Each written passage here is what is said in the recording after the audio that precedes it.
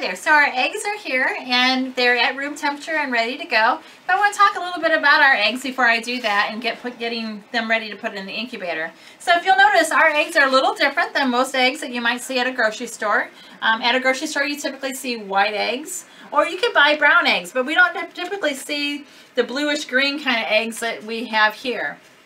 Um, what I can tell you about that is, is that my farmer that I got our eggs from has a variety of different hens and roosters on his farm, uh, hens in particular. So, and his farm, he has fertile eggs because he has roosters and hens at his farm. Now, the eggs we get at a grocery store typically are all white eggs, and those come from a farm where the farmers don't have roosters. They're not interested in having roosters. Um, all they have are hens, and the reason for that is a hen will naturally produce an egg about every 24 to 27 hours. Uh, once she reaches a certain age, her body will just naturally produce an egg. Um, so my farmers that, um, that actually are raising eggs for us to eat, um, those eggs at the grocery store come from farms where there are no roosters. In this case, my farmer friend actually wants to have baby chicks. So on their farm, they have actually roosters and hens both. And so um, their, their variety of uh, chickens and hens that they have on their farm will produce different colors of eggs. So in this case, my farmer has a variety of uh, non-white looking chickens because I can tell that by based on the color of eggs that he handed me.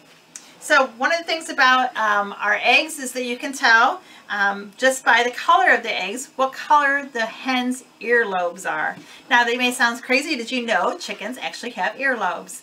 Just like um, we have earlobes, our chickens actually have earlobes too. They're usually either red or they're white. A chicken or a hen that lays a greenish blue or brown egg will have red earlobes. A hen that has uh, lays white eggs will have white earlobes. And the earlobes are centered right, about where ours are on their heads. And you'll notice in a picture, and we'll show you some later on, um, actually where those earlobes are located. So right now, based on the color of the eggs that I have in front of us, I know that my farmer has chickens with lots and lots of red earlobes. So when we're going to put our eggs into our incubator, the other thing that's really important that we need to pay attention to is if we look at our eggs, you can oftentimes tell that there's a big end and a more pointed end. In this case, my big end is right here, and my more pointed end is down here. When we put our eggs into our incubator, we want to make sure that our big end is up. And the reason for that is if we ever look in the inside of our egg, we're going to notice that there's actually what's called an air cell. And the air cell is always located on the big end of the egg. So we want to make sure that when we put our eggs into the incubator, that we're putting them in with, into our egg turner with the big end up.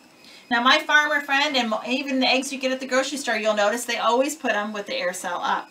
And so we want to make sure that we're going to transfer them over just like they are in the egg carton right now. And that is we're going to take them and gently put them into our egg turner with the big end up. And we're going to leave them like that. So now what, of the activities you may consider doing when you are home and mom and dad are making um, something with eggs is I would encourage you to actually crack an egg open and look at the inside of the egg to look for that air cell. And you're going to see there's a really thin white membrane that just covers the inside of the eggshell.